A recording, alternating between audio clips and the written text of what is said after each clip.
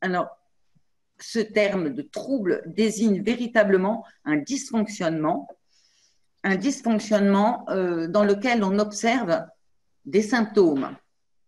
On observe des symptômes euh, qui, dans le cadre de notre euh, MOOC, concernent effectivement les fonctions cognitives, mais ces symptômes, on ne peut pas les rattacher à une maladie sous-jacente. On se retrouve à observer des symptômes et à devoir exclure certaines maladies. Donc, on va exclure des atteintes, par exemple, euh, qu'on peut visualiser en imagerie comme des lésions cérébrales à la suite d'accidents vasculaires cérébrales. Ça peut arriver chez des tout petits. On va exclure également des destructions neurologiques liées, par exemple, à une infection, comme une méningite. On va exclure des maladies neurologiques rares, évolutives, qui peuvent apparaître dans la petite enfance, comme des leucodystrophies ou d'autres atteintes comme des neuroblastomes, qui euh, toutes pourront, si vous voulez, présenter des atteintes qu'on retrouve dans certains troubles 10. Donc, il n'y a pas de maladie sous-jacente et il n'y a pas de lésion objectivable en imagerie.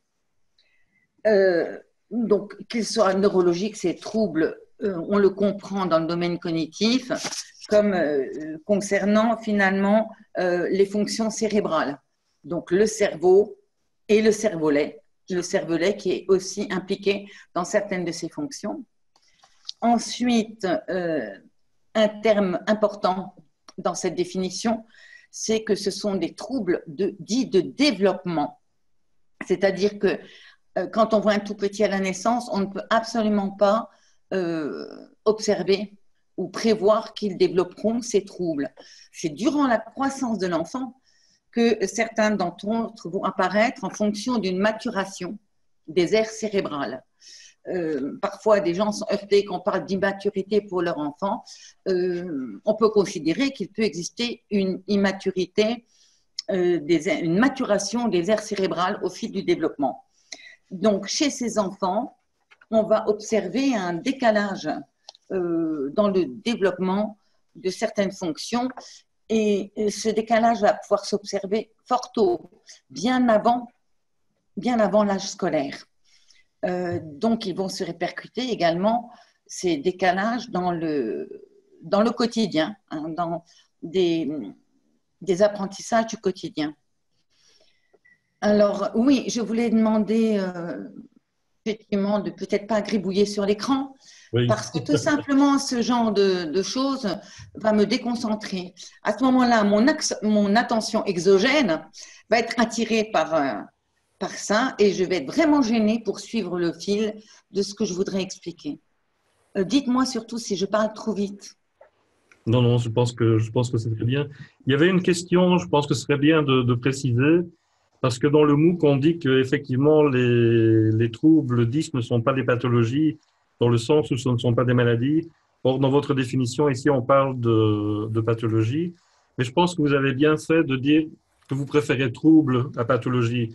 Parce que pathologie, finalement, ça induit une confusion entre maladie et trouble. C'est ressenti par la. Ah, absolument, absolument. C'est pour ça qu'il existe de nombreuses définitions.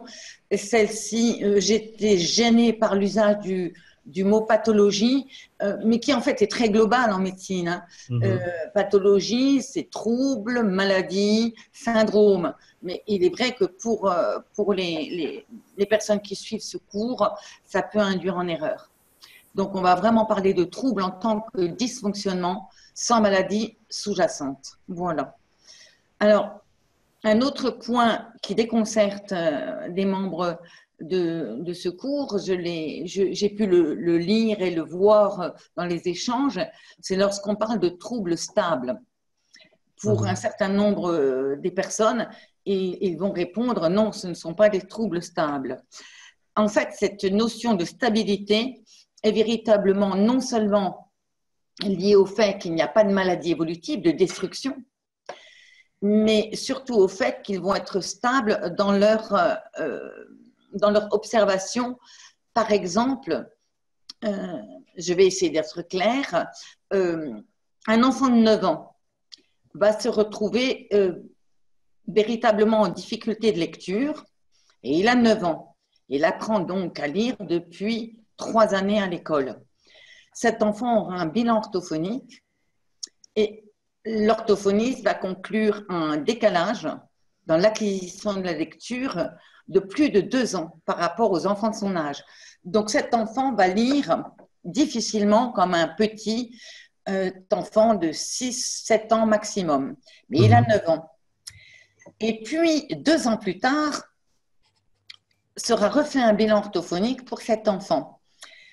Et on constatera une stabilité dans son trouble, c'est-à-dire qu'il aura certes progressé, mais il aura toujours et très probablement un décalage d'au moins deux ans avec sa classe d'âge, c'est-à-dire que cet enfant de 11 ans lira comme un enfant de 8-9 ans. C'est en ceci que les troubles 10 sont distables, comme par exemple la dyslexie. Est-ce que c'est clair pour vous? Est-ce que vous avez compris? La moi, Pour moi, en tout cas, c'est très clair. Stabilité.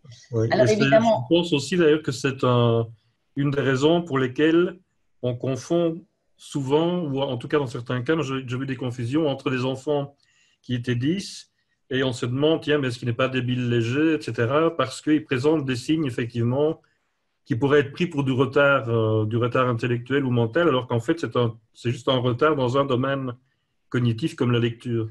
Absolument, il y a un retard, mais attention, un retard qui ne va pas être rattrapé aisément, hein, mmh. parce qu'il existe véritablement des enfants chez lesquels euh, il y aura une alerte donnée, mais euh, chez lesquels il y aura un simple retard et ils vont rattraper. Ils vont le rattraper à partir de prise en charge en quelques mois, parfois une année et ils ne seront en fait pas des enfants dits 10. Hein. Donc, euh, on doit vraiment euh, distinguer ces retards euh, de développement, qui sont simplement un décalage, de ces retards qui persistent dans la durée.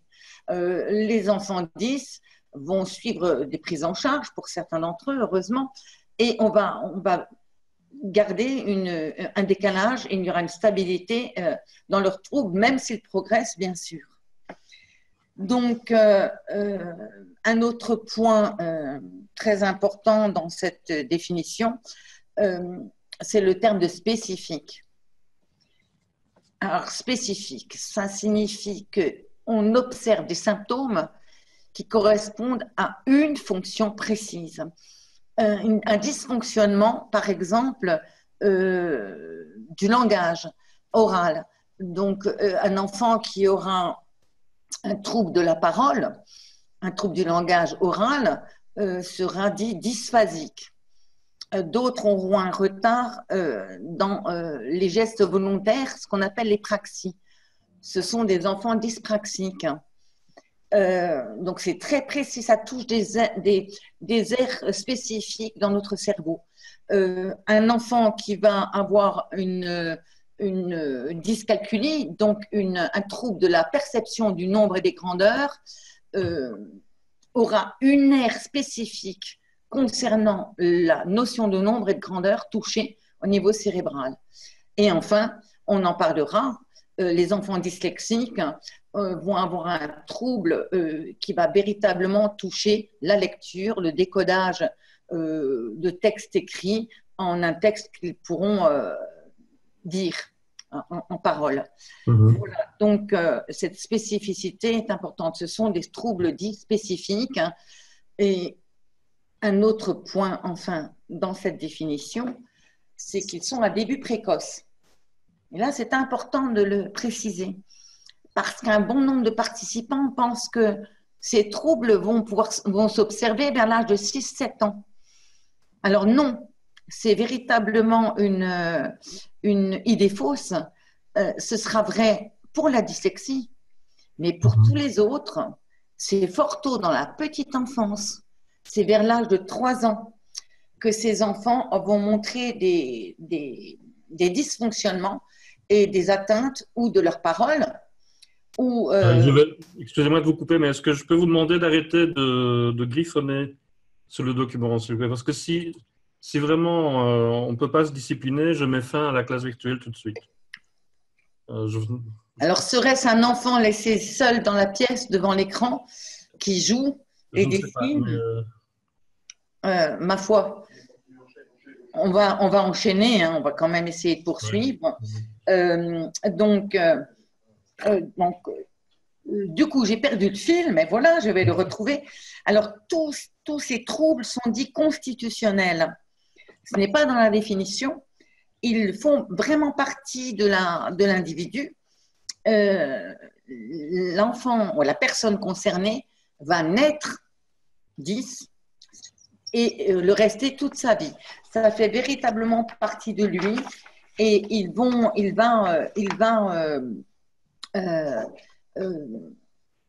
va se retrouver euh, effectivement 10 euh, lexiques ou 10 calculiques, 10 praxiques à vie. Mhm. Vous parliez aussi de spécifique. Qu'est-ce qu'on entend par trouble spécifique? Alors, le fait qu'il soit spécifique, vous avez perdu le fil, Marco. J'avais déjà précisé qu'ils vont toucher véritablement des fonctions précises.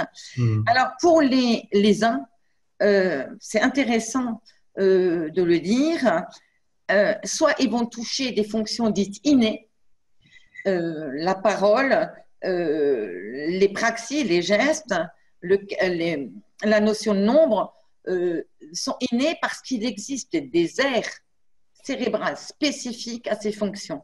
Elles sont là à la naissance. On va les développer, on va, elles vont maturer, on va les utiliser euh, et pouvoir les, les, euh, les rendre de plus en plus euh, fonctionnels au fil d'apprentissage, mais ce sont véritablement des aires spécifiques et précises dans le cerveau qui sont concernées. Alors, par contre, un point intéressant à préciser, c'est que ça peut être une fonction qui n'est pas innée. C'est le cas de la lecture la lecture n'est absolument pas euh, un trouble euh, qui dépend de structures présentes à la naissance, mhm. disons de, structures destinées à la lecture. Ces structures n'existent pas au départ, elles vont se construire par des réseaux neuronaux. Il y aura un recyclage d'air cérébral qui vont être réutilisés et euh, détournés pour pouvoir lire. Mhm. Une personne qui est née euh, en Amazonie dans un petit groupe de chasseurs, loin de, toute, euh, de tout symbole et alphabet, ne sera jamais dyslexique. La dyslexie se révèle effectivement tardivement parce que c'est une fonction qui n'est pas innée, mais qui va utiliser des aires cérébrales préexistantes, visuelles et auditives, pour se développer. Donc, c'est véritablement l'exemple même d'un trouble développemental, du développement. Mhm. Voilà. Euh, donc, euh, je voulais ajouter un point. Euh, c'est peut-être le moment d'en parler. C'est que les personnes confrontées à ces troubles ne vont pas pouvoir automatiser leur apprentissage. la parole ne sera pas aisée euh, les gestes seront compliqués, euh, la lecture sera difficile, euh, le calcul parfois non abordable, et donc ils vont véritablement sans cesse essayer de compenser leurs troubles, de trouver des solutions, et ce sera quelque chose véritablement de fatigant, d'épuisant. Ils vont constamment euh, se retrouver à dépenser de l'énergie pour pouvoir réaliser des choses qui paraissent simples, évidentes pour d'autres personnes, non 10. Mhm. On parle d'ailleurs de, double tâche souvent. Absolument.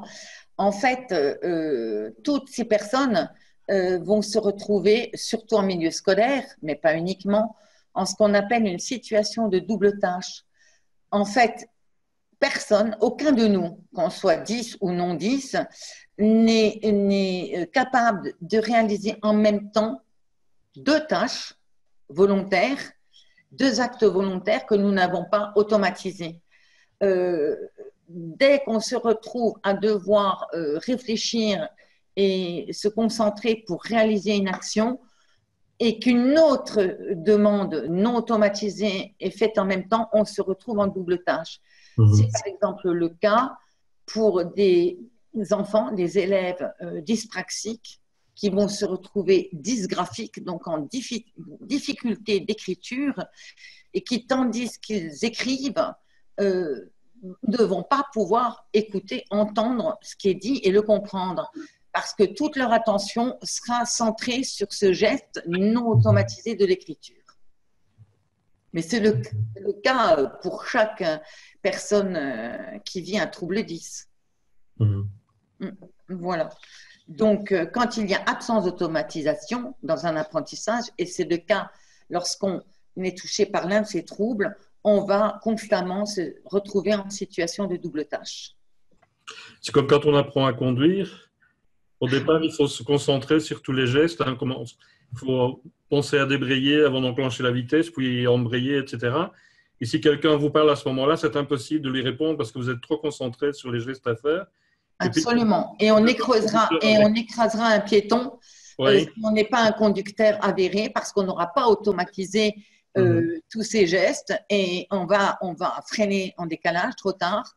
Donc, effectivement, euh, l'apprentissage de la conduite, chacun de nous s'en souvient, on va mettre plusieurs semaines à pouvoir maîtriser l'automatisation de, de l'usage des, des, pédales et de la boîte de vitesse. Mhm. Voilà. Donc, euh, euh, un autre point euh, qu'on pourrait évoquer, ou plus loin, si j'évoque par exemple la dyspraxie, c'est la notion de multidis. On lit souvent, on lit souvent dans des échanges des parents qui vont écrire Mon enfant est multidis. Alors, quand on lit ce terme de multidis, d'un point de vue médical, quelque part, il ne veut rien dire. On ne sait pas quel est le trouble qui touche l'enfant. Or, vous mhm. comprendrez tout à l'heure que, euh, par exemple, rien que le fait, entre guillemets, hein, rien que le fait, tout est relatif, d'être dyspraxique visio-spatial va entraîner des troubles dits, secondaires et euh, en avalanche. Et euh, effectivement, cet enfant dyspraxique pourrait être dit multidis parce qu'il va être dysgraphique, dysorthographique, dyscalculique de façon secondaire et même dyslexique parce qu'il y a des atteintes fréquentes visio-spatiales. Mais euh, de dire que cet enfant est dyspraxique visio-spatial bah, suffit en soi hein, pour expliquer tout le mmh. reste. le reste, ce sont des conséquences du premier. Voilà, il n'est pas multidis. Par contre, on a observé et on sait que euh, bien souvent, une personne euh, ayant un trouble spécifique pourra cumuler avec un autre trouble spécifique. On peut être dyslexique et dyspraxique, on peut être dysphasique et dyspraxique. Euh, voilà, on peut quand même cumuler à peu près pour 40% d'entre eux deux troubles spécifiques. Voilà. Euh, oui, je, regarde mon pense-bête.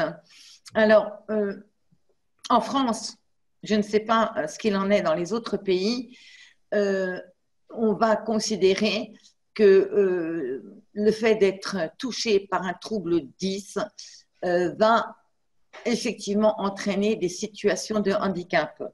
la, définition du handicap est une limitation euh, d'une activité et une restriction de participation en raison d'un trouble cognitif spécifique, développemental. C'est dans la loi française. Donc en France, euh, la, démarche de considérer comme un trouble 10 comme un handicap possible et qui place l'enfant en situation de handicap existe. Euh, ce, qui, est important à souligner, parce que je ne suis pas certaine que ça existe dans d'autres pays.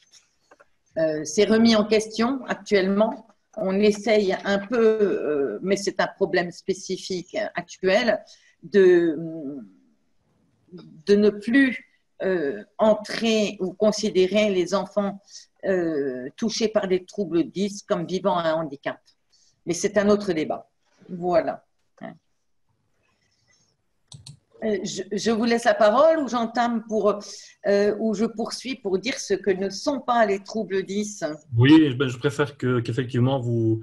Mais ce serait peut-être bien que, que, finalement vous enleviez le, document maintenant, surtout qu'il est. Oui, absolument. Le, retirer. Euh, parce que je vois, il y, a une personne ici qui dit je préférerais voir Régine plutôt que. Voilà. Je pense qu'elle a raison. Alors il y a une dame apparemment qui a commencé un partage d'écran, donc si elle pouvait arrêter, ce serait Sympa. Voilà, oui, je vois qu'il y a un partage d'écran. vous me retrouvez? Oui, oui, oui, voilà. Effectivement, oublié d'enlever le document. Excusez-moi, hein, j'étais non, non, pas de problème. partie dans, dans, dans ce cours. Euh, j'espère vraiment que je ne parle pas trop vite. C'est très dense, très riche. Je pense que c'est parfait. Je vois les commentaires. Les commentaires sont, sont très positifs, donc euh, ah bah, tant mieux, parce que c'est la partie quand même qui peut être aride. Hein. Oui. Euh, est-ce que je peux vous demander, Régine, que, que vous m'envoyez ce document? Et euh, moi, je le, je le, mettrai dans le MOOC, dans l'onglet classe virtuelle. Oui. Donc, dès demain, les personnes pourront retrouver à la fois l'enregistrement, le texte. Et ce simple document avec cette définition. Oui. Donc, le, test du chat et ce document. Comme ça, ils auront l'ensemble des choses qui se sont passées aujourd'hui. D'accord. Donc là, euh, je vais enchaîner. J'enchaîne sur ce que ne sont pas les troubles spécifiques du langage et des apprentissages. Alors, ils ne sont pas, c'est important de le souligner, ils ne sont pas liés et la conséquence d'un déficit mental. Alors, c'est un point important parce que dans le diagnostic, on le verra de façon assez courte, euh, on va souvent demander à ce que l'enfant euh, passe des tests dits neuropsychologiques. Mmh. Alors, il est primordial, euh, je pense très fortement aux enfants dysphasiques, de souligner que les enfants n'ont pas de déficience mentale. Et c'est particulièrement vrai euh, dans le diagnostic pour ces enfants qui ne peuvent pas s'exprimer, qui ont des difficultés de langage, soit de compréhension du message qu'est le mot, soit d'expression du langage, euh, de, pouvoir dire non, ils sont intelligents, ils n'ont pas de déficience mentale et il faut trouver des approches et des aménagements pour leur permettre d'apprendre parce que ce sont des enfants intelligents. Donc il n'y a pas de déficit mental, c'est un postulat. Alors un autre point important à souligner, euh, ces enfants ne sont pas pour la plupart concernés par un blocage psychologique. C'est encore un discours qu'on entend bien trop souvent. On va euh, entendre dire euh, dans certaines structures et avec une démarche qui peut être de type psychanalytique. Hein, mhm. Oui, non, mais la maman l'a trop couvé. Ou là, cet enfant est traumatisé par la mort du petit chat, le divorce de ses parents. Euh, des événements qui ont pu le choquer. Alors il bloque totalement. Et alors il va se réfugier dans son monde. Il va refuser de parler. Il ne va plus vouloir communiquer. Ou encore, euh, oui, non, euh, il ne va pas lire ou écrire parce qu'il fait un blocage. Regardez-le, cet enfant est intelligent et vif.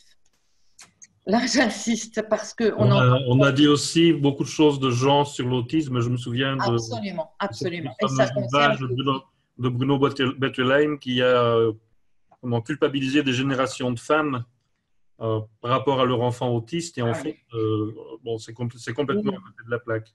Absolument, c'est erroné. Ça culpabilise les malheureux parents, dont les mamans, qui sont traités de mamans fusionnelles et c'est vraiment une idée qu'il faut pouvoir écarter, euh, sans écarter parfois qu'il existe des blocages. Mhm. Mais ce n'est pas la cause des troubles 10 du tout. Alors, on va également écarter tout ce qui est effectivement déficit sensoriel.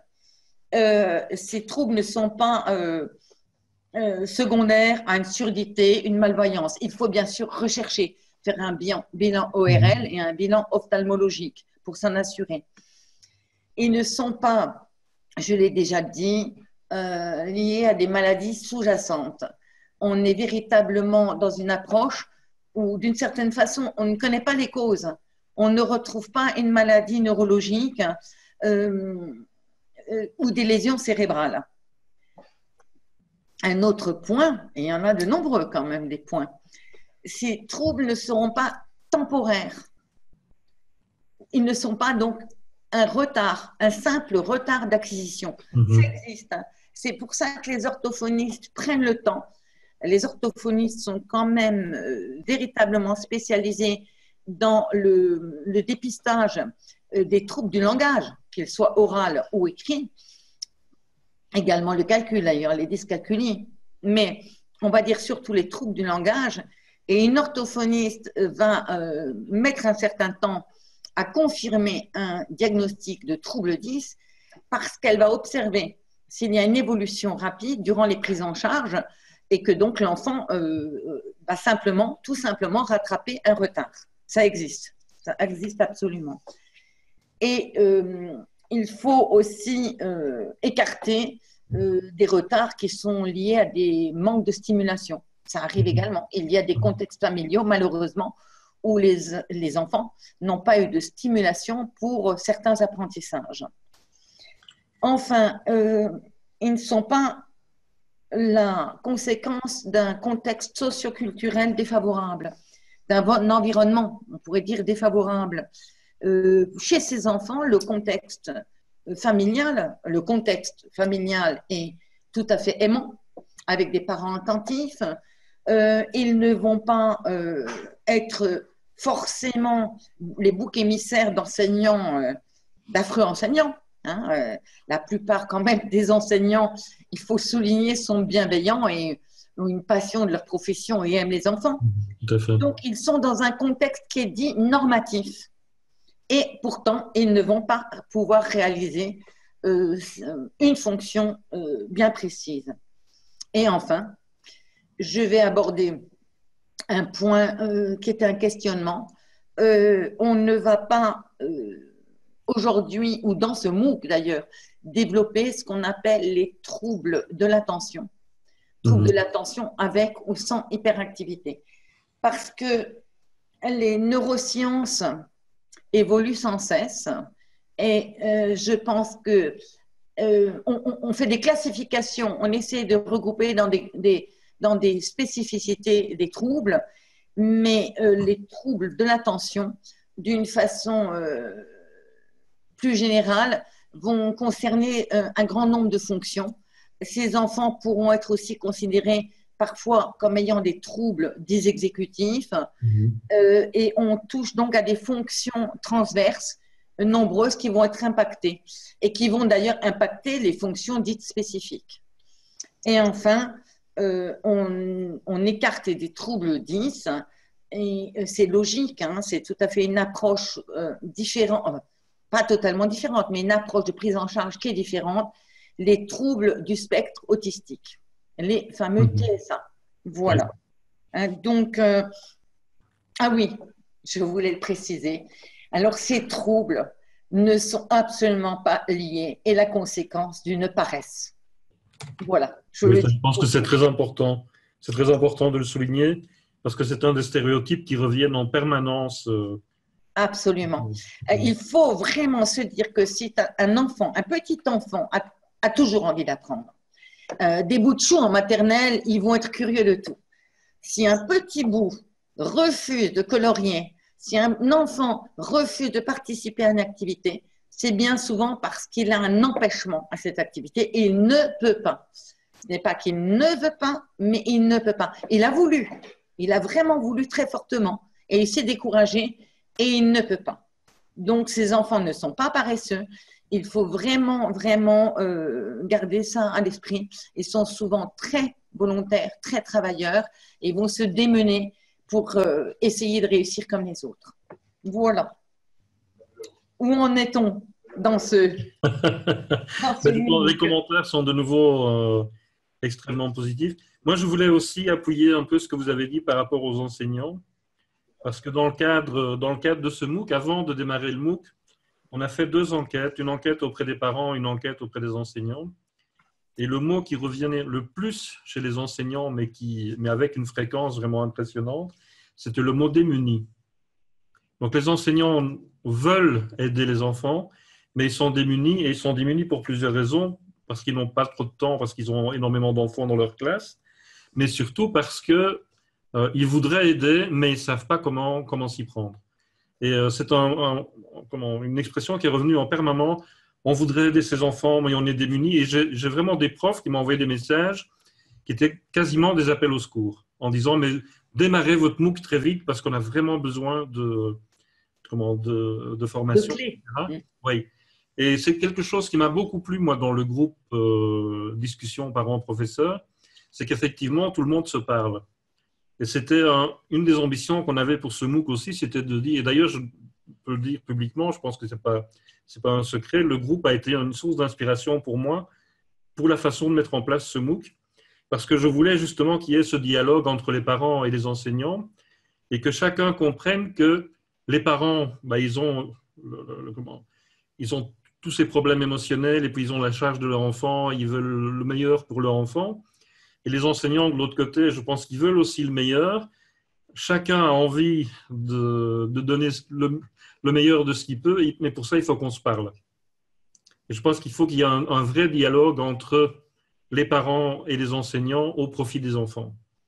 Et ne, pas croire que les enseignants, oh, les enseignants s'en moquent, ou bien oh, les parents ne s'occupent pas des enfants. Non, je pense que des deux côtés, il y a des envies, des deux côtés, de la frustration, des deux côtés, il y a de la souffrance.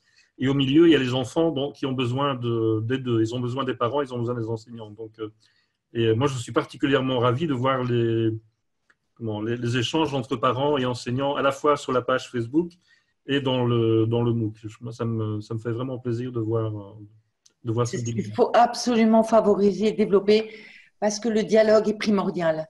Et dans ce dialogue, d'ailleurs, euh, on pourrait intégrer euh, les professionnels parce qu'ils vont également être là euh, pour pouvoir apporter des informations, apporter des clés, euh, des préconisations vers les parents, vers les enseignants. Mais dans le dialogue parents-professeurs, ce n'est pas toujours simple parce mhm. qu'effectivement, comme vous le dites, il y a une souffrance parentale d'un côté avec le désir qui est cristallisé sur son enfant comme un enfant unique, et mhm. puis l'enseignant se retrouve face à une classe, oui, tout à on va parler euh, très vite, là, euh, où il peut avoir 5, 6, 7 enfants en difficulté, et, c'est quelque chose de, courant actuellement, mhm. et il a 30 élèves, cet enseignant, et il va devoir essayer de trouver des solutions pour un, presque 30% de sa classe, ce qui n'est pas une mince affaire. Oui, tout à fait. Alors, je voudrais dire justement, parce que vous parlez de professionnels, ça me donne l'occasion de dire quelque chose c'est que j'ai reçu plusieurs messages d'AESH, donc de, personnes qui accompagnent les enfants dans, les écoles, et qui me disaient, mais euh, est-ce que je peux entrer, je ne suis pas enseignant, mais est-ce que je peux faire partie du MOOC, etc. Alors, je voudrais lancer ce message. Les AESH sont vraiment les bienvenus, parce qu'elles sont aussi des personnes extrêmement importantes auprès des enfants. Et donc, euh, elles sont vraiment bienvenues dans le MOOC. Et de grâce, exprimez-vous, échangez avec les autres, parce que vous aussi, vous avez un regard particulier et un contact particulier avec ces enfants qui est aussi important. Je pense que c'est la présence de tout le monde qui est important. Et c'est le fait de travailler ensemble qui, est important. Merci Marco d'avoir euh, songé. Vous voyez, je les ai oubliés. Je, je, communique avec nombre d'entre elles et j'ai oublié de les citer parce que ce sont véritablement des accompagnantes, la tierce personne euh, qui a, euh, joue un rôle si important auprès de l'enfant à l'école. Ah oui, oui, donc je les salue très fort et je suis euh, heureuse qu'elles participent à ce MOOC, bien sûr. Elles, elles en sont totalement, elles sont partie prenante pour la cause des enfants. Alors, quand j'évoquais les professionnels, c'est peut-être la possibilité d'évoquer très rapidement le diagnostic. Oui, bien sûr, oui.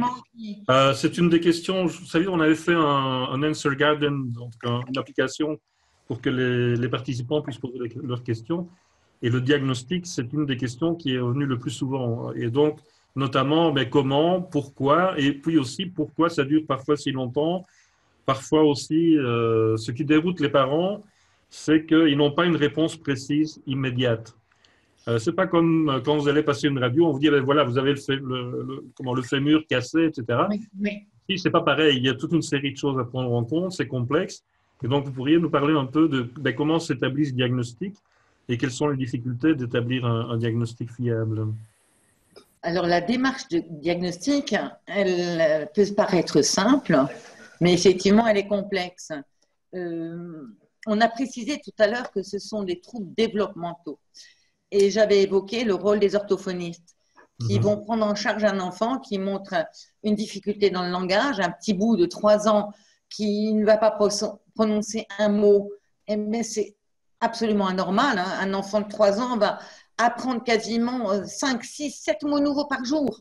Ils vont Mhm. construire des phrases, ils vont co- communiquer aisément. Et c'est pour ça d'ailleurs qu'ils sont censés rejoindre l'école maternelle ou le jardin d'enfants à, à l'âge où ils peuvent communiquer, échanger. Euh, L'enfant qui ne va pas rentrer dans la lecture euh, à partir du CP, qui sera au printemps, puis fin de première année d'école primaire, incapable de- d'entrer dans la lecture, va aller chez une orthophoniste également.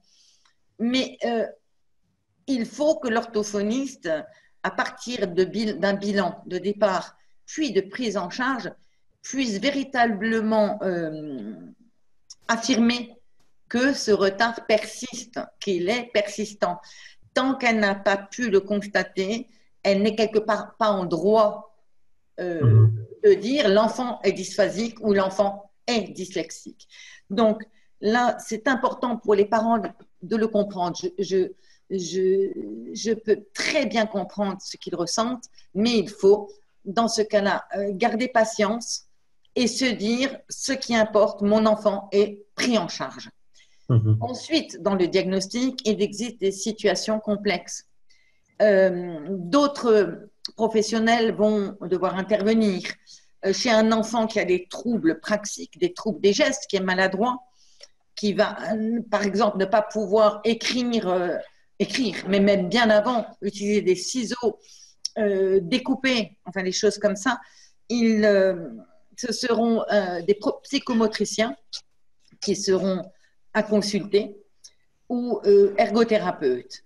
Donc, ces professionnels euh, vont travailler avec l'enfant, euh, les uns plutôt pour euh, leur permettre de prendre conscience, c'est l'espoir, de, leur corps dans l'espace et pouvoir les aider à améliorer leurs gestes. Et pour d'autres démarches, mais qui sont complémentaires. Comme l'ergothérapeute, ça pourra être d'apporter des outils à cet enfant pour véritablement pallier à son handicap. Donc, j'ai cité comme professionnel l'orthophoniste, la psychologienne, c'est souvent des femmes, l'ergothérapeute, et il ne faut pas que j'oublie l'orthoptiste neurovisuel. Alors, très souvent dans la démarche diagnostique, dans les bilans réalisés, on oublie et on ne sait pas, d'ailleurs, ça n'est pas dit, qu'un certain nombre de ces enfants ont des atteintes oculomotrices neurovisuelles. Et donc, si on ne les prend pas en charge, ces atteintes, l'enfant va véritablement, par exemple, sembler dyslexique. Il ne l'est pas. En réalité, il ne pourra pas lire parce qu'il a ces atteintes oculomotrices. Donc, Mhm. le bilan orthoptique est également important. Et il n'est pas toujours suggéré, proposé par le médecin généraliste parce qu'il faut oser le dire. En médecine générale, nous ne sommes pas formés aux troubles 10. Une vague notion de l'existence de la dyslexie- mais ce n'est pas enseigné. Ça ne fait pas partie du cursus. J'espère que ce sera enseigné dans nos facultés avec le développement des neurosciences et comme une reconnaissance de troubles neurologiques. Euh, il faut aussi euh, songer, et c'est primordial, que le diagnostic, en dehors d'une dyslexie isolée, doit être posé par un médecin spécialisé. Le médecin spécialisé de référence pour la plupart de ces troubles, c'est un médecin neuropédiatre. Il est véritablement formé en neurologie.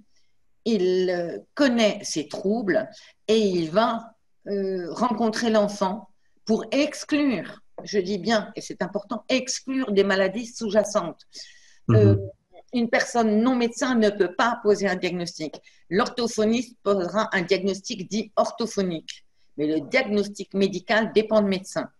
Donc, le médecin de la médecine scolaire, le médecin pédiatre, euh, le médecin généraliste parfois vont pouvoir orienter vers un neuropédiatre. Et il y a un autre médecin qu'il ne faut pas que j'oublie, ce sont les pédopsychiatres. Alors attention, j'espère qu'on ne m'en voudra pas dans le monde médical, mais on va dire que les pédopsychiatres ont d'abord une formation de psychiatrie puis vont, se spécialiser en pédiatrie. Mhm. Or, par exemple, dans notre pays, contrairement aux pays anglo-saxons, il existe encore une, une frange, un certain nombre de médecins pédopsychiatres qui vont être fortement influencés par les théories de la psychanalyse. Mhm. Il faut, d'ailleurs, certains pédopsychiatres le disent, hein, de leurs confrères. Euh, actuellement, on estime que allez, 10 à 15% de pédopsychiatres connaissent véritablement et reconnaissent l'existence des troubles 10 comme des troubles neurologiques, neurobiologiques. Donc, euh, ils vont être peut-être plus sollicités euh, pour, pour aussi suivre les enfants avec troubles de l'attention ou mhm. des troubles comportementaux importants. voilà. Et qu'ai-je oublié hein? Euh, toute la difficulté diagnostique peut aussi provenir du fait que l'enfant, effectivement, cumule des troubles. Il peut avoir deux troubles. Et, euh, et ben parfois, le médecin, même spécialiste, est perdu. Et il faudra qu'il puisse observer dans le temps l'évolution de l'enfant. Donc, ça peut prendre deux, trois, quatre, cinq ans avant qu'un diagnostic euh, précis puisse être posé.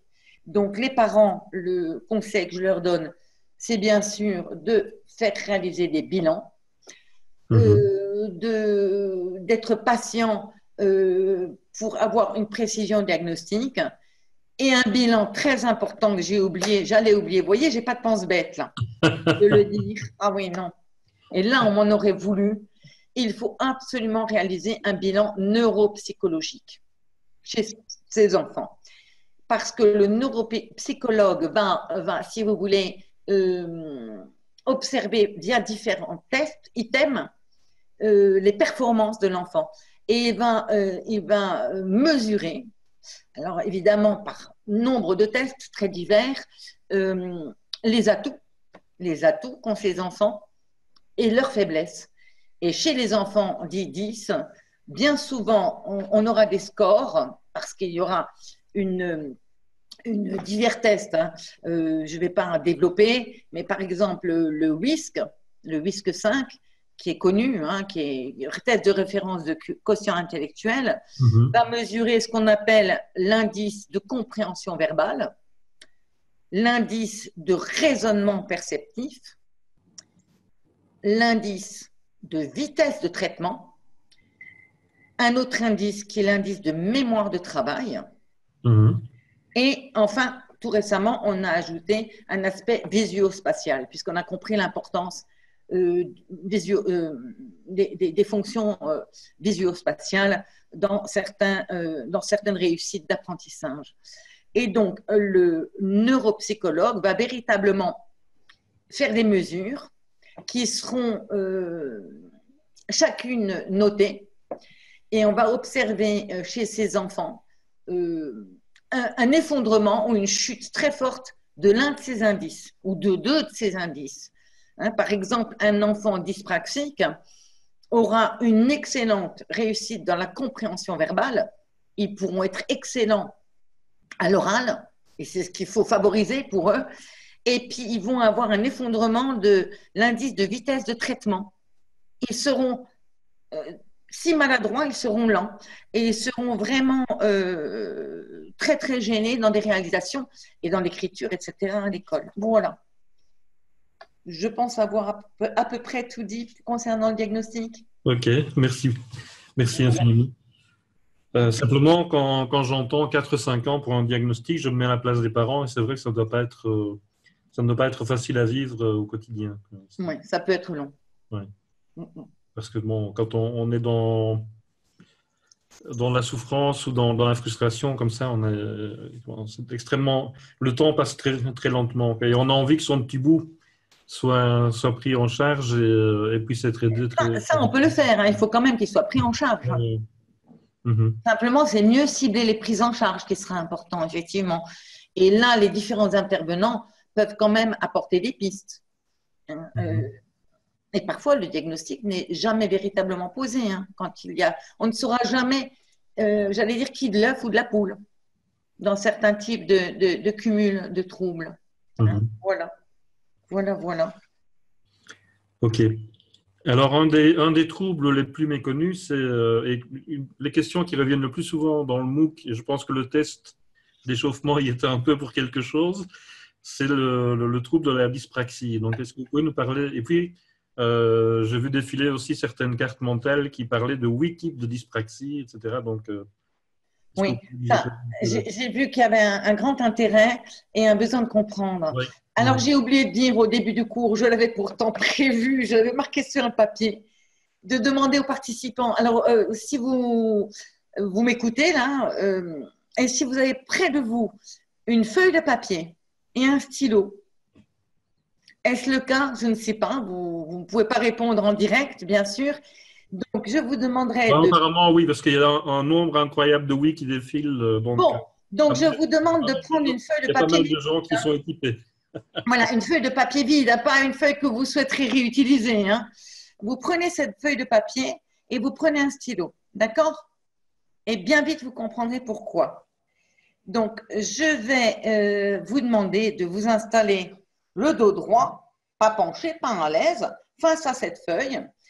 Et ce stylo, si vous êtes droitier, je vous demande de le prendre dans la main gauche. Et si vous êtes gaucher, vous l'avez deviné, je vous demande de le prendre dans la main droite. Et maintenant, je vous donne le top départ. Je vais vous faire un cours que je vous demande de noter. Alors, jouez le jeu. Vous devez écrire. Et puis, même si vous avez du mal, non. Vous devez écrire et poursuivre. Je compte sur vous. On est d'accord? Donc, top départ. Alors, euh, on va évoquer euh, les dyspraxies. Euh, donc, dans ce mot dyspraxie, vous pouvez le noter, on retrouve le mot praxie. Alors, que sont les praxies? Les praxies sont des gestes volontaires, je dis bien volontaires, appris et donc programmés, planifiés et qui sont dirigés vers un but. Ces gestes sont dirigés vers un objectif. Je parle peut-être un peu fort ou trop vite. Euh, volontairement, je suis un professeur qui, voilà, qui est dur avec ses élèves. Alors, je vais répéter quand même, les praxis sont des gestes volontaires appris et programmés, planifiés et qui sont dirigés vers un but. Lorsqu'on parle de dyspraxie, donc vous notez dyspraxie, je vous donne la définition. Les dyspraxies sont un trouble de la coordination et de l'automatisation de gestes volontaires dirigés vers un but. On retrouve la définition de praxis. On est bien dans un trouble de la coordination et de l'automatisation de gestes volontaires dirigés vers un but. Donc, euh, la personne dyspraxique, l'enfant dyspraxique, aura des difficultés à planifier son geste, donc, choisir le bon geste adapté à une situation. Là, je tends le bras et je prends une bouteille. Je n'ai pas réfléchi. J'ai su tendre mon bras dans la bonne direction. J'ai saisi la bouteille sans l'écraser. Je saurais ouvrir le bouchon en le dévissant et me servir un verre. Alors, je vous l'avoue, ne notez plus là. Hein. Je, crois que, je, crois que, beaucoup de gens ont déjà abandonné. Je vois, je vois, les, commentaires et je pense que Voilà. Alors, je n'ai pas osé me servir un verre, de peur de me servir à côté, de faire tomber de l'eau sur mon clavier et de flinguer mon ordinateur et qu'on soit donc coupé. Hein. Donc, véritablement, j'ai, euh, euh, je n'ai pas exécuté euh, mes praxis jusqu'au bout. Hein. J'ai par contre coordonné quand même mes gestes pour euh, tendre le bras dans la bonne direction, suivre une chronologie d'étapes. Euh, mais, mais je n'ai pas. Euh, je vais quand même boire une gorgée, excusez-moi. Allez-y, allez-y.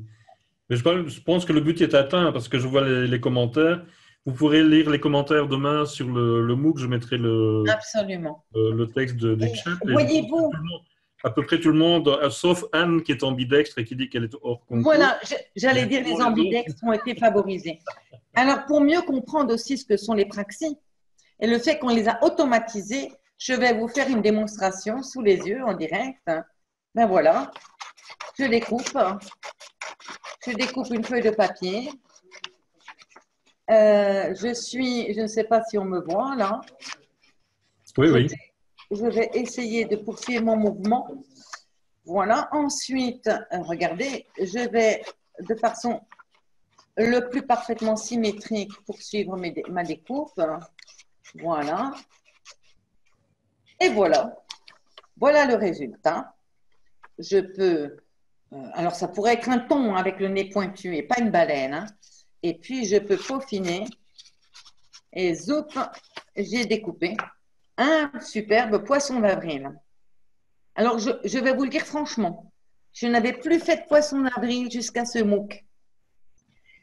J'ai appris à découper et faire des poissons d'avril quand j'étais une môme de 7-8 ans pour les coller dans le dos de l'institutrice. Donc, ce que je viens de réaliser, on pourra dire que je l'ai fait sans souci parce que je ne suis pas dyspraxique. J'ai pu coordonner mes gestes. Je les ai automatisés.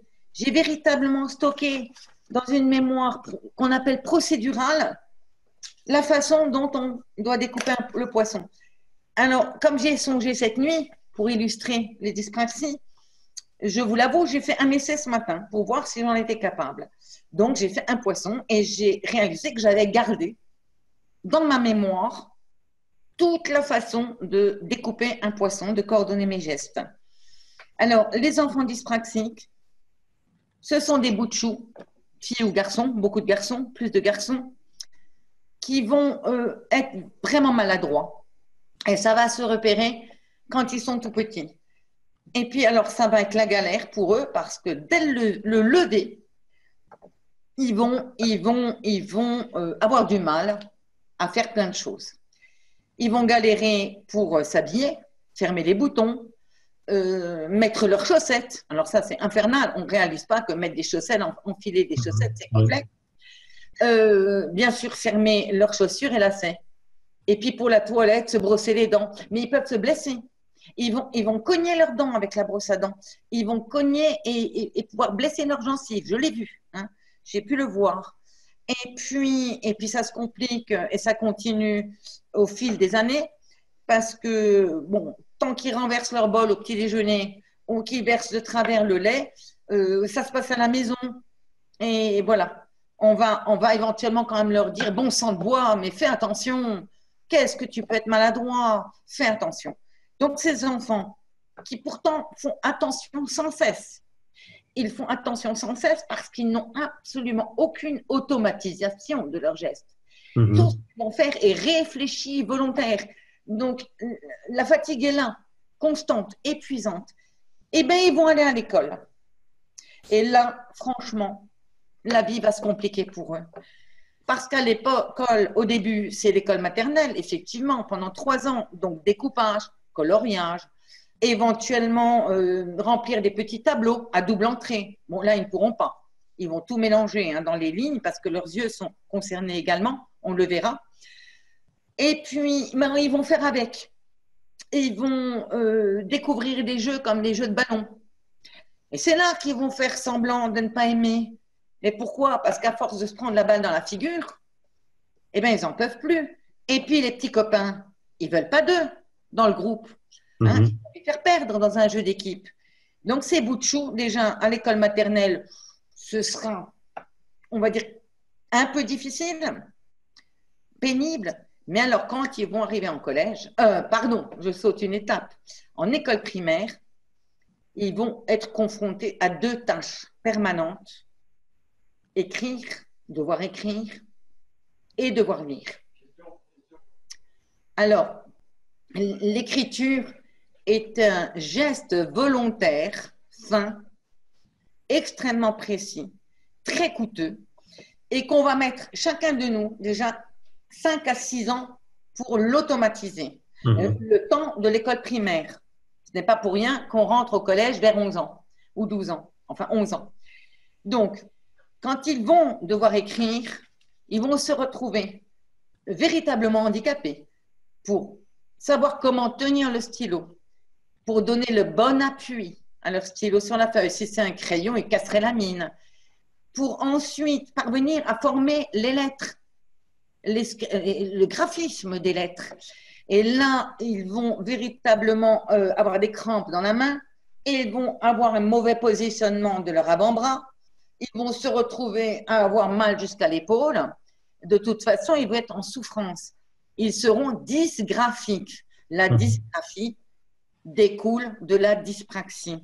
On observe une écriture qui, soit parce qu'ils y parviendront, sera lisible, assez jolie à lire, mais qui sera très lente, il existe des dysgraphies avec des écritures parfaites. Simplement tellement lentes que de toute façon, en arrivant au collège, ils ne pourront pas suivre. Ou alors leur écriture sera carrément illisible. Ensuite, ces enfants, ils vont devoir lire. Et quand ils vont devoir lire, il y a un véritable travail de leurs yeux, un travail oculomoteur. Or, la coordination du mouvement des yeux, qui en font plus de 100 000 par jour, hein, nos yeux font plus de 100 000 mouvements coordonnés par jour. Cette coordination est touchée. Pour pouvoir lire, il faut pouvoir balayer une feuille de droite à gauche, donc déjà dans le bon axe, et avoir un balayage large, ne pas sauter des parties sur cette feuille. Il faut pouvoir fixer les mots.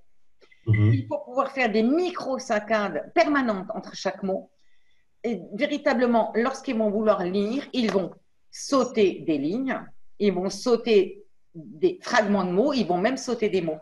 Donc, un enfant dyspraxique va se retrouver avec une pseudo-dyslexie et se retrouvera dyslexique euh, neurovisuel, si on peut dire. Mhm. Il ne pourra pas lire correctement. Et ça, les orthophonistes de métier, euh, vraiment entraînés, doivent pouvoir le repérer. Alors, ils vont se retrouver aussi dysorthographiques. Parce que véritablement, comment voulez-vous, d'une part, qu'ils puissent euh, mémoriser correctement l'orthographe de mots qu'ils vont voir parfois fragmentés, ils vont en oublier des morceaux, et d'autre part, parce que quand ils écrivent, qu'ils sont obligés d'écrire et qu'ils écoutent, ces enfants se trouveront justement dans cette fameuse double tâche. Ils n'ont pas automatisé l'écriture, ils vont placer toute leur attention dans ce graphisme. Et là, à ce moment-là, ils ne pourront absolument pas réfléchir à l'orthographe des mots et encore moins à la grammaire des mots. Alors, j'ai oublié d'autres conséquences. Ils seront dyscalculiques. Les enfants dyspraxiques, visuospatiaux, le plus souvent, seront dyscalculiques. Alors, ce n'est pas une dyscalculie primaire. Ce n'est pas la notion du nombre qui leur manque. Euh, eux, ils vont parfaitement voir dans un groupe, si ce sont des groupes très différents, que d'un côté, il y a deux jetons et d'un autre côté, huit jetons. Cette notion de grandeur, ils l'auront, ce que n'ont pas les dyscalculiques. Mais par contre, ils vont se retrouver, si on leur demande de compter des cercles dans un mélange de triangles, de carrés et de cercles, ils vont compter parce que leurs yeux travaillent mal, mais parfois deux fois le même cercle. Donc, ils auront un résultat faux quand ils devront poser des calculs, des additions, des soustractions, eh bien, ils vont se tromper de colonne. Ils vont mal aligner leurs centaines, leurs dizaines, et ils auront un résultat faux. Et en géométrie, n'en parlons pas. Quand ils vont devoir manipuler compas, euh, équerres, règles, et puis se repérer d'un point de vue spatial, mais ils seront, euh, ils seront en difficulté en géométrie. Donc, vous voyez euh, la dyspraxie, les dyspraxies, il en existe diverses, mais grosso modo, euh, on retrouve à peu près toutes ces atteintes chez la plupart des enfants. L'un ne pourra pas faire de vélo, l'autre y parviendra, mais enfin, ce sont, on va dire, quelque part des nuances. Et mais ils sont fortement touchés dans leur scolarité et dans leur quotidien et vont vivre bien souvent un handicap. Et dans les MOOC qui vont suivre, et je le pense très fort, seront apportées des solutions d'aménagement pour ces enfants. Mhm. Vous le devinez quelque part. On l'espère en tout cas. Ben, bien sûr. Et, par exemple, pour ces enfants, d'une part, bien sûr, euh, limiter un maximum l'écriture, hein, parce que c'est quelque part très coûteux en énergie pour eux et en attention. Parce que oui, en attention, on verra souvent des parents dire mon enfant a des troubles de l'attention. Mais euh, non, pas forcément. Ça n'a pas forcément été un diagnostic médical posé euh, pour euh, authentifier un trouble de l'attention, qui est un trouble neurobiologique avéré. Non, ces enfants auront des difficultés d'attention. Des difficultés d'attention importantes parce qu'ils sont épuisés et parce mhm. qu'ils ne pourront pas faire deux tâches en même temps. Oui, exactement. Voilà. Oui, si vous êtes trop concentré sur l'écriture des mots, vous n'avez pas d'attention disponible pour la grammaire, l'orthographe. Mm. Il est déjà, il est déjà, déjà dépassé l'heure. Oui, oui. Le temps je suis trop bavarde. Non, non, vous n'êtes pas trop bavarde. Moi, je suis, franchement, je suis ravi, mais je pense que j'avais raison de vous inviter parce que, effectivement, ben voilà, les, les commentaires, c'est oh dommage, j'ai pas vu le temps passer, etc. Donc, Alors, si on a euh, cinq minutes de plus, je vais bien parler de l'effet de mode. Ou, ah, Avec, avec, plaisir. Moi, je ne moi, je suis pas prêt moi, à... moi, je suis disponible. Hein. Après, tout Allons-y alors. Allons-y. alors voilà, oui. Ah, je vois, oui. oui, oui. Alors, c'est un grand débat. C'est un grand débat. Effectivement, on entend beaucoup dire que c'est un effet de mode, qu'on n'entend plus euh, parler que de ça de troubles 10, de troubles des apprentissages.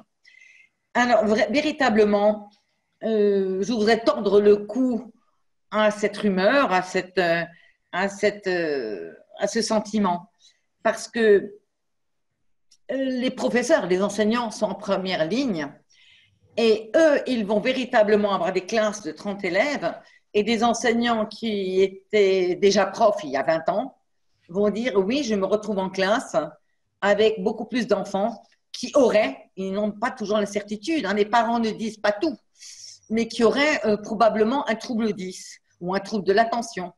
Alors, euh, sur ce point, c'est une réalité.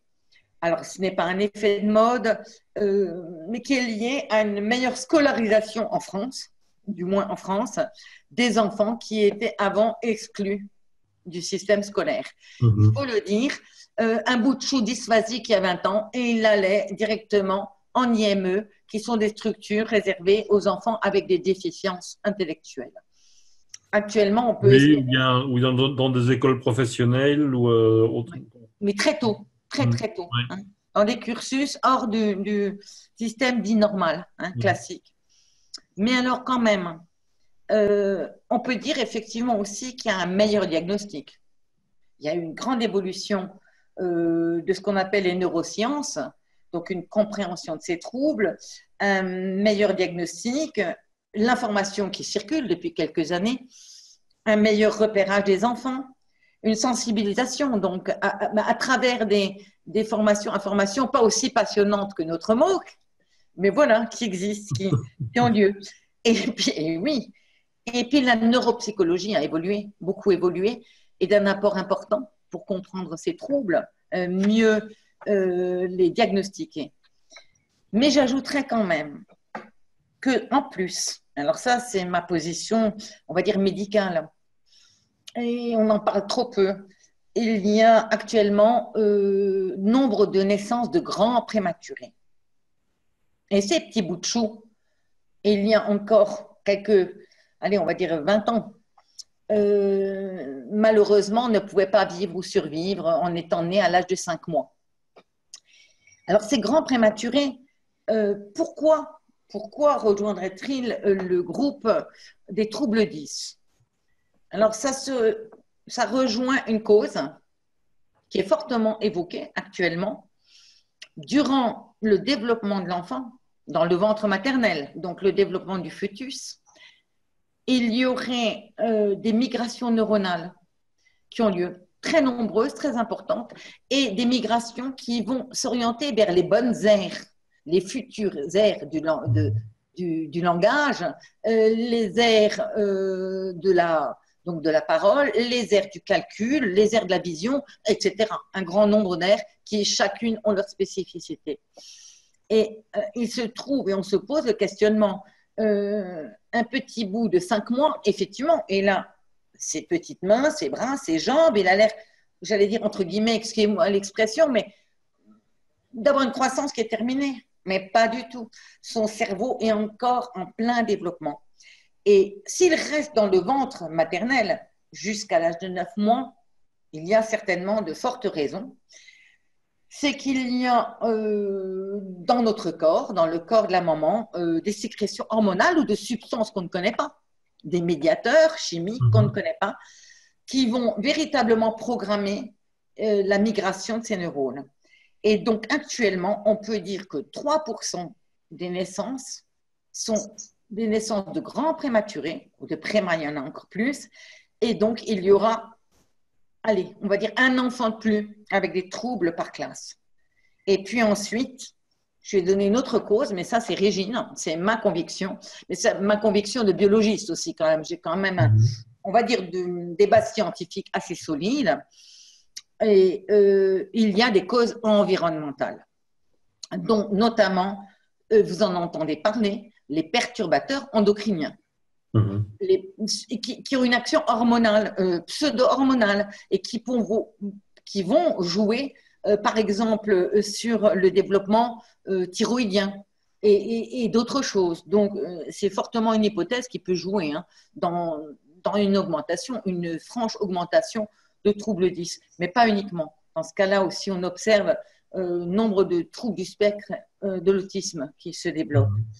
Et alors, je vais le rajouter, je vais préciser là, ce n'est pas lié à l'usage des écrans. Oui, merci de le dire parce qu'il y a pas mal. J'allais justement en parler parce qu'il y a pas mal de, commentaires. Euh, il y a déjà un débat qui s'installe là-dessus. Effectivement, les, écrans peuvent entraîner des problèmes d'attention, mais euh, pas, pas des problèmes de type euh, neurologique, etc. Simplement, les écrans monopolisent l'attention, mais ils ne rendent pas 10 et ils ne rendent pas autistes. Je pense que là, il y a une c'est très important de dire. Je ne sais pas si c'est de la naïveté ou de la fraude de, la part des gens qui, qui diffusent ces idées. Mais il y a de la manipulation. En tout cas, il y a de la manipulation, certainement. Bien sûr, bien sûr. Non, non. Donc, euh, les troubles 10, les troubles spécifiques et l'autisme également, bien sûr, ne sont absolument pas liés à, euh, à l'usage, enfin l'usage, oui, euh, d'écran, que ce soit de télévision, euh, que ce soit là sur nos ordinateurs ou euh, les téléphones portables. Alors bien sûr, comme en tout, il ne faut pas en abuser, mais ils ne vont pas être responsables de ces troubles. Par contre, on parlait, vous parliez de stimulation intellectuelle tout à l'heure. C'est clair qu'un enfant euh, qui passe le plus clair de son temps devant la télévision ou avec un smartphone en main, il a très peu de stimulation de la part de son environnement et ça va jouer sur son développement intellectuel, mais pas sur... Alors, pas forcément. Marco, non, il faut nuancer. C'est une autre stimulation. Euh, véritablement, euh, on, peut, on peut retrouver des aspects positifs. Tout dépend de l'usage qui en est fait et de ce mhm. qu'on choisit sur écran. On peut véritablement améliorer des apprentissages à partir de, de, de, l'usage d'écran. Et il ne faut pas que ce soit permanent. Mais ça, vous, vous, prêchez un convaincu. Si on a fait un il faut, il faut emmener son môme dans la nature, dehors, le faire toucher, manipuler, triturer, euh, ben, se mettre de la boue. Et puis, et puis se salir ses vêtements. Et puis ramasser des feuilles mortes.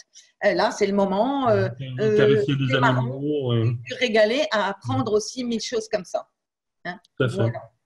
Mm, mm. On va peut-être pas aborder la dyslexie.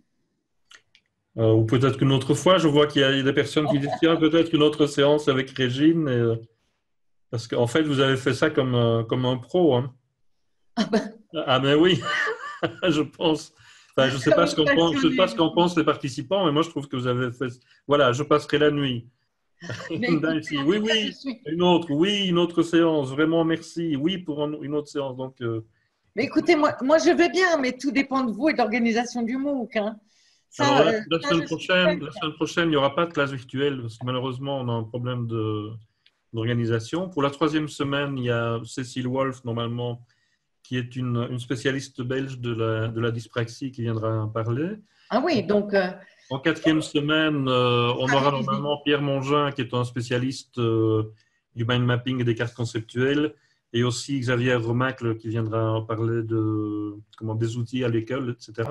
Donc, quatrième et cinquième semaine, ce sont les modules spécifiques parents-enseignants. Donc, ce sont deux, deux, parcours différents, mais j'ai très envie que les personnes puissent se retrouver autour de la classe virtuelle, même pendant ces quatre et cinquième euh, modules.